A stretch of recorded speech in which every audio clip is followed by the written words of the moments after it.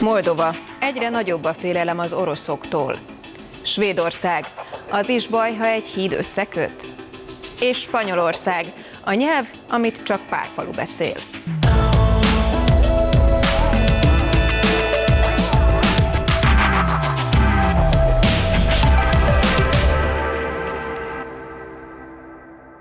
Köszöntöm Önöket! Ez itt az Európai a Deutsche Welle hírmagazinja. A Moldovai Köztársaságban egyre nagyobb a félelem az orosz inváziótól. Ez különösen igaz néhány a Nyeszteren túli moldovai falura. A vidéket, Transnistriát az orosz hadsereg ellenőrzi már három évtizede. Nemzetközileg azonban még mindig Moldova részének számít. Az ott lakók örülnek, hogy olcsón kapják az orosz gázt, de aggódnak, hogy az ukrajnai háború feléleszti a befagyott helyi konfliktust. A Deutsche Welle tudósítója egy ottani faluban járt.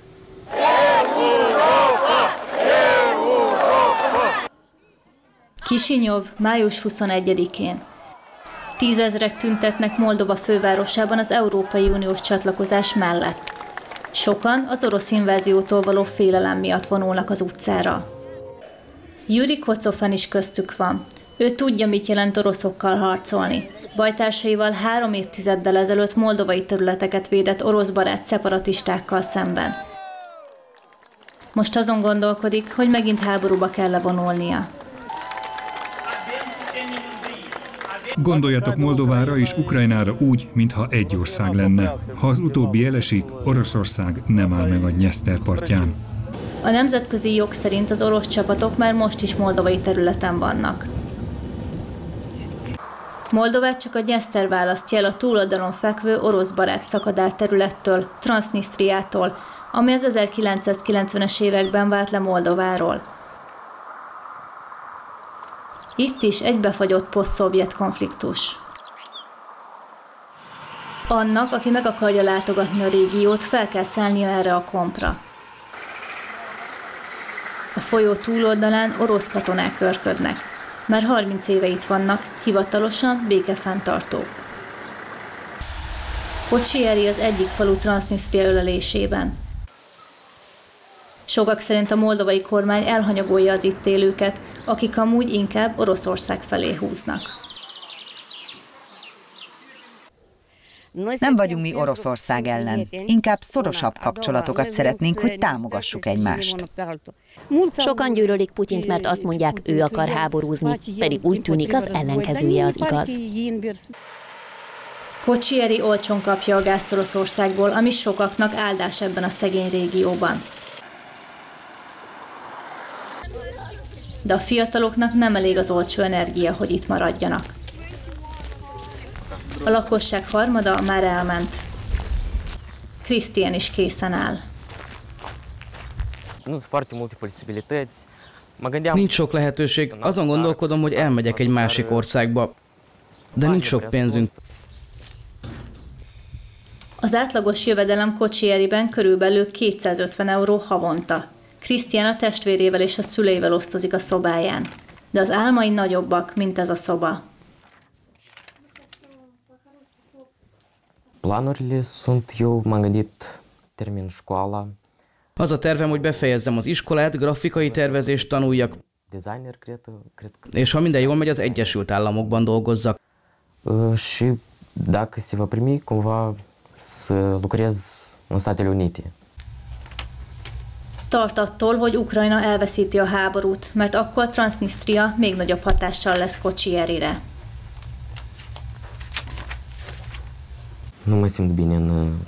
Nem érzem jól magam egy olyan közösségben, amely kizárólag az orosz világot támogatja. Nagyon sokan vannak, elegen van belőlük. Szeretnék normálisan gondolkodó embereket magam körül. Și vrea să mai văd și altă lume care gândesc normal, că sunt foarte mulți și m-am A környéken senki sem akar háborút, csak abban térnek el a vélemények, hogy az uniós tagságtól vagy Oroszországtól várják a segítséget.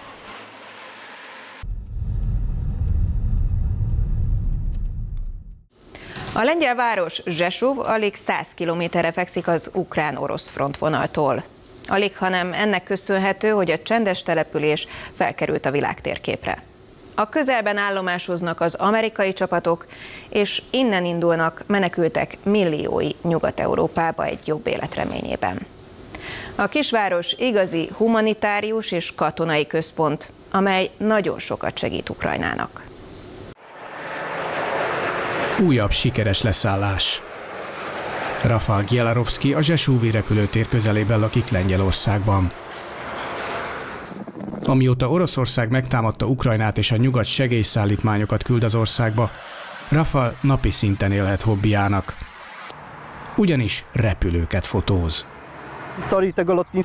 A reptér fennállása óta talán ha 10 Jumbo Jet landolt itt összesen. Most meg van úgy, hogy naponta leszáll ennyi. A nyugati fegyverek jelentős részét is erről a reptérről küldik Ukrajnába. A katonai repülők a fapados légitársaságok gépei mellett parkolnak a kifutón. Az amerikai hadsereg légvédelmi rakétákkal védi az utánpótlás bázist. Állítólag tízezer NATO katona állomásozik jelenleg Zsesúvban. De Ukrajnából is érkeznek ide járatok. Betegekkel és háborús sérültekkel, akiket az EU-ban kezelnek. Akárcsak ezt az ukrán katonát Andrét, aki kézprotézist kaphat Spanyolországban. Holnap indulsz Spanyolországba? Boldog vagyok. Nem gondoltam volna, hogy ingyen jutok protézishez. Anna Bublik Ukrajnából kísér betegeket. Szerinte Zsesúvnak központi szerepe van a háborúban. Ez a hely kiemelten fontos most a számunkra. A város a háború első napjától kezdve befogad és segít minket és a pácienseinket. Ezért nagyon hálásak vagyunk a lengyel kollégáknak és mindenkinek, aki részt vesz ebben. A város profitál a hirtelen jött fontosságából és a sok ideérkező külföldi vendégből. Különösen a szállodáknak és éttermeknek, például ennek az olasz vendéglőnek megy jól. Ők sütötték a pizzát Joe Biden amerikai elnöknek, amikor meglátogatta itt a katonáit. Azóta nő a vendégek száma, Bidennek pedig saját pizzája van az étlapon. Z pieczarek. A Hot Joe pizzán olajbogyó, pepperoni és jalapeno van. Joe Biden is megkóstolta, hogy milyen csípős. Zsesúvban a háború előtt 200 ezer ember élt, most további 10 ezer katona és körülbelül 30 ezer menekült van itt Ukrajnából. A helyiek többségének nem jelent problémát, hogy hirtelen ennyien lettek, de vannak azért, akik féltik tőlük a munkájukat.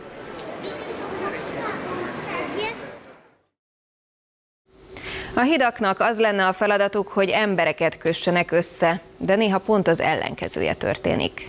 Mint például annak a gyalogos hídnak az esetében, amely két stokholmi városrészt köt össze. A szociálisan hátrányos helyzetű Rinkebűt és a jómódú Ősviket. Sokan tiltakoznak, hogy a hídon keresztül a bűnözés is átterjed a gazdagabb negyedbe. Bandaháborúk és utcai lövöldözések okoznak feszültséget Svédországban évek óta, és a helyzet egyre súlyosabbnak tűnik. Az esetek főként külvárosi kerületekhez köthetők, ahol többségében bevándorlók élnek.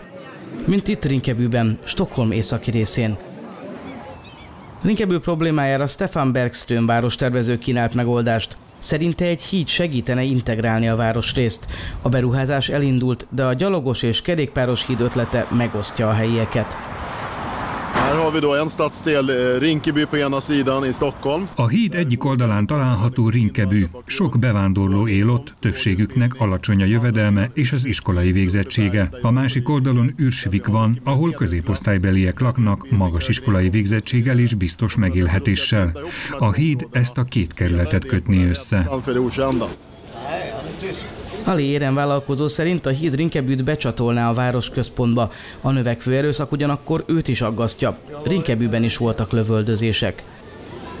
Szerinte az államnak határozottabban kellene fellépnie, a híd önmagában kevés. Alig fektetnek pénzt az állami iskolákba, ehelyett egyre többet privatizálnak. A törvények ezen kívül túl engedékenyek. A fiatalok tudják, ha 18 éves koruk előtt valakit lelőnek, legfeljebb két-három év börtönt kapnak, ami katasztrofálisan kevés. Hirtelen a háttérből beszól egy fiatal és megfenyegeti Érent. Ő visszatámad. Rinkebűben ki kell vívni a tiszteletet, mondja.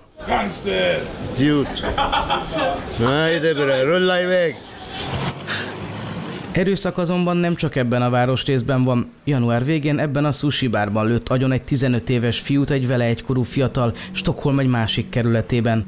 A svéd rendőrséget is riasztja ez a fejlemény, de ők is egyre inkább tanácstalanok. Egyre fiatalabbakkal van dolgunk, már 13-14 évesek is vannak köztük, akikre a belső kerületekben figyeltünk fel. Megpróbáltunk beavatkozni, bevonni az ifjúságvédelmet, megkeresni a szülőket és kimenni a családhoz. De egy bizonyos ponton túl nem tudsz közelférkőzni ezekhez a fiatalokhoz. Och ni svensk media hade fel. A svéd demokraták nevű jobboldali populista párt az erőszakos cselekményeket arra használja, hogy a bevándorlók ellen hangolja a közvéleményt. Stefan Bergström hídjával sem értenek egyet, és már most le akarják bontani. Szerintük, ha a rinkebűiek csak úgy átsétálhatnának a túloldalra, jönne velük űrsvikbe a bűnözés. A felvetésükre egy párt sem akart a kameránk előtt reagálni. A híd lebontásának semmi értelme, azon kívül, hogy körülbelül 10 millió euróba kerülne az adófizetőknek. Őrültség.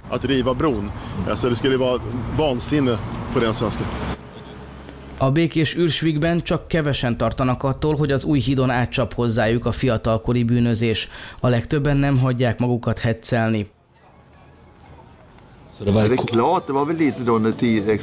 A témát az Expressenhez hasonló bulvárlapok fújták fel. De itt a környéken ez nem érdekli az embereket. Tudja, még a beruházás előtt átadtak oda át egy új rendőrőrsöt. Azóta sokkal békésebb lett az a környék is. Stefan Bergström szerint ez pozitív fejlemény. Reméli, hogy nyárra, mire elkészül a híd, elcsitol körülötte az izgalom.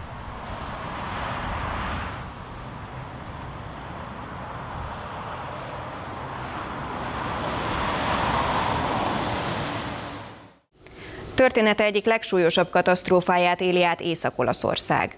Hónapokig tartó szárasság után özönvízszerű esőzések voltak, melyek következtében több tízezer embernek kellett elhagynia az otthonát, tucatnyian pedig meghaltak vagy eltűntek. Szakértők szerint nem csak a klímaváltozás okolható a történtekért.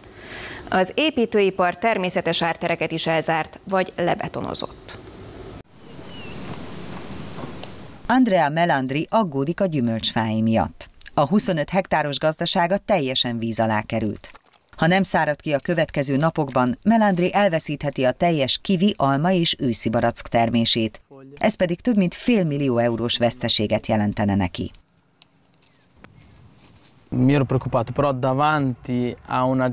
Aggódtam én már az extrém hideg miatt is, de most inkább az árvizektől félek. Oramai ho più paura con un'alluvione, ecco. Akkor is volt bizonytalanság, de az semmi a mostanihoz képest. A differenza di questa volta qui penso di aver, cioè ero un zuccherino alla fine. A közelmúlt árvizeiben és földcsúszamlásaiban nem csak az éghajlatváltozás játszik szerepet, hanem az ellenőrizetlen építkezések is. Emilia Románya tartományban, amely árvizeket tekintve Olaszország egyik legsérülékenyebb régiója, több mint 200 ezer hektárnyi erdős területet burkoltak le, mondja Gabriela Bolini szakértő. A folyópart egyre keskenyebb, mert kell a hely a házaknak, az iparnak és a mezőgazdaságnak. Ezt a szemléletet kellene visszafordítanunk. Öt évvel ezelőtt a regionális kormány egy ambiciózus zéró földát minősítés törvényt fogadott el, de azt soha nem hajtották végre, mondja Bolini. Az árvízveszélyes területeket is rég feltérképezték. A kék vonal világosan jelzi, hová nem szabadna semmit sem építeni de ezt nem tartják be. Amikor a helyi közigazgatásban dolgoztam, időnként jöttek hivatalnokok, hogy toljam el a vonalat, hogy a barátaik építkezhessenek. Na, ez a probléma. Amikor a politika ezt csinálja, akkor nem a közérdeket vagy a jövő nemzedék érdekeit nézi.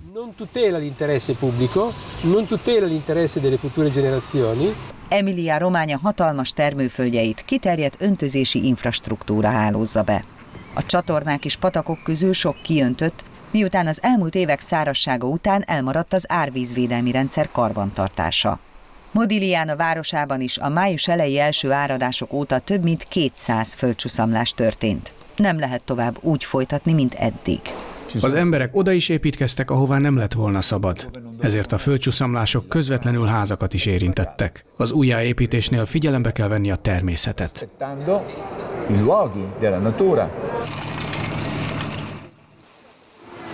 Emília Rományában most azt kérdezik az emberek egymástól, hogy tanulnak-e a tragédiákból és a korábbi hibákból.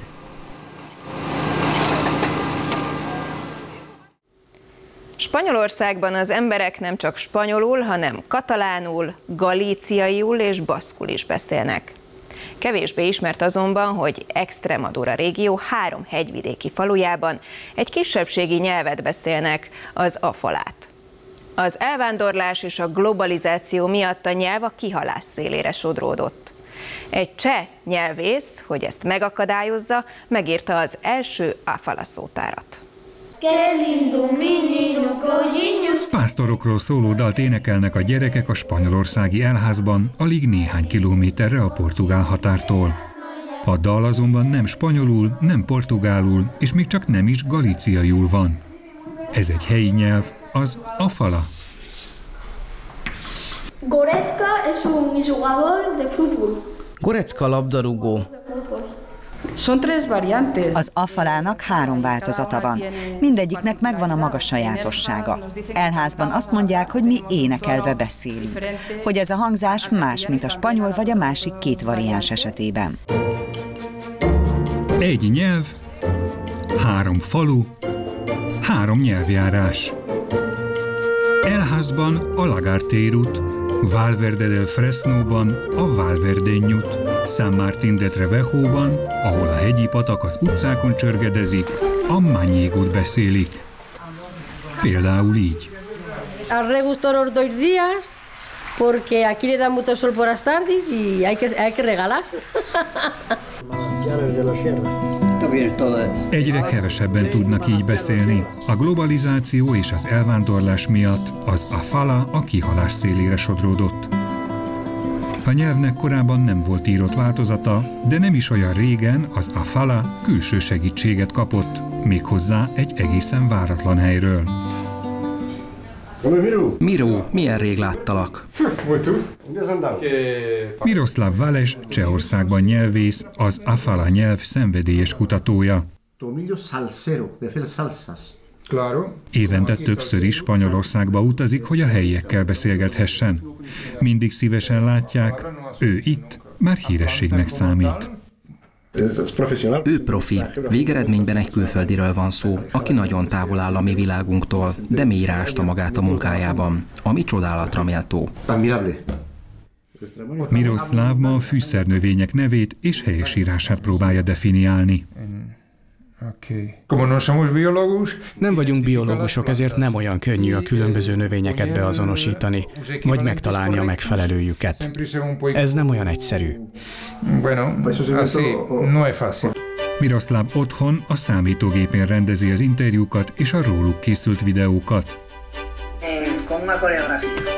Az Afala egy kisebbségi nyelvekről szóló kurzuson tetszett meg neki. Elhatározta, hogy mindenképp megtanulja, tananyagot azonban sehol sem talált hozzá.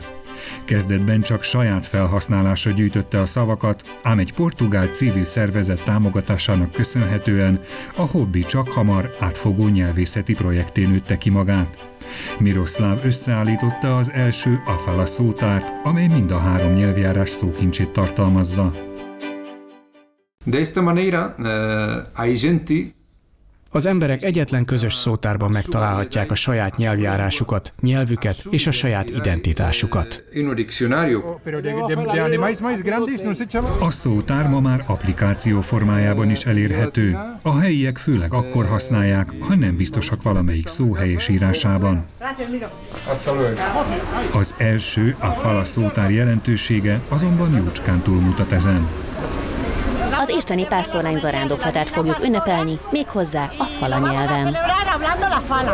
Miroslav szerint a szótár csak a kezdet. Már dolgozik az első a falan nyelvkönyvön, ami a kívülállók számára még közelebb hozhatja ezt a kicsi nyelvet.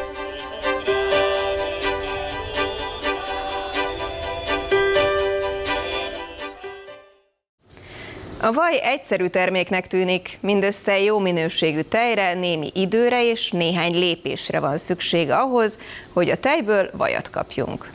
Egy brötányi kézműves vállalkozás különleges módszerrel olyan vajat készít, amelynek ínyencek sem tudnak ellenállni.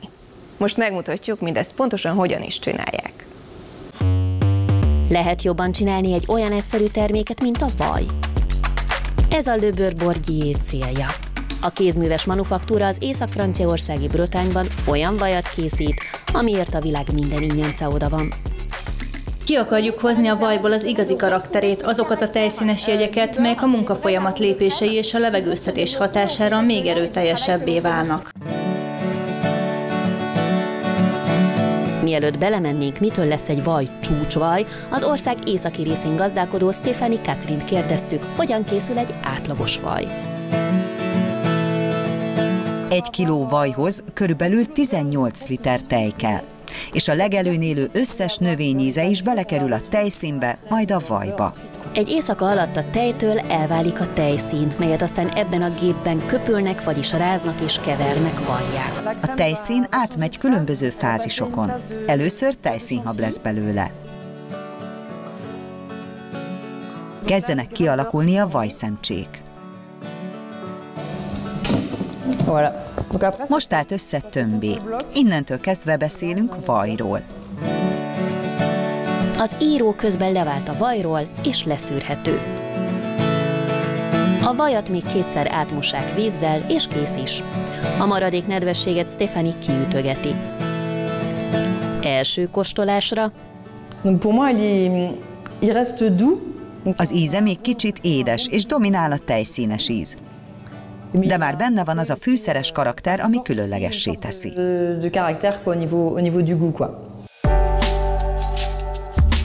És hogy lehet a vajat még finomabbá tenni? Römelaxásnak hívják a vaj ismételt átgyúrását, melyet egy ilyen géppel végeznek.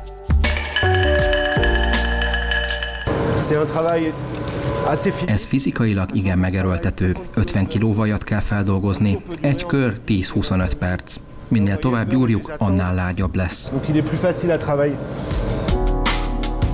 A vajgyúrása nem csak lágyabbá és simábbá teszi a vajat, egyéb hatásai is vannak. Il y a de l'eau qui est naturellement contenue dans le beurre. Et donc en fait ce travail que l'on va faire encore plus... A vajban ilyenkor még mindig van víz, amit főként só hozzáadásával lehet kiszorítani. A gép ezen kívül levegősebbé teszi a vajat, amitől az aromák még jobban érvényesülnek. Akár csak a jó bort levegőztetni kell. Et un petit peu comme le vin va développer ses arômes à ce moment-là.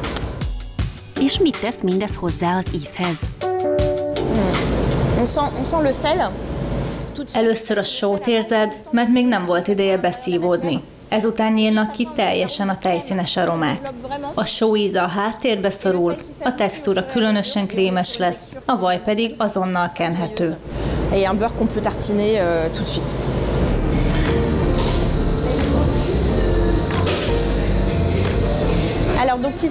Most a műteremben vagyunk, ahol a vajat formázzák és megalkotják.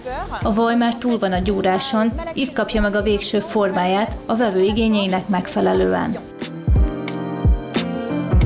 Naponta 20 dolgoznak itt a különböző éttermek és szállodák rendelésein. Van ez a kúp alakú, aztán van lapos kúp, kerekforma, négyzetes és téglalap alakú. A bélyegzős formákat magánügyfeleknek készítjük, mindnek van saját bélyegzője.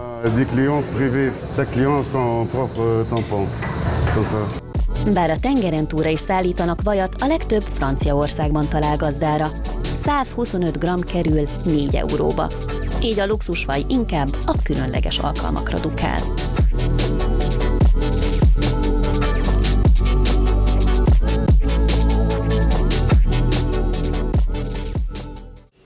Ez volt az Európa Deutsche Welle hírmagazinja. Köszönjük, hogy velünk tartottak. További Deutsche Welle videókért látogassanak el a DV Magyar Facebook és YouTube oldalára. Vigyázzanak magukra, a viszontlátásra!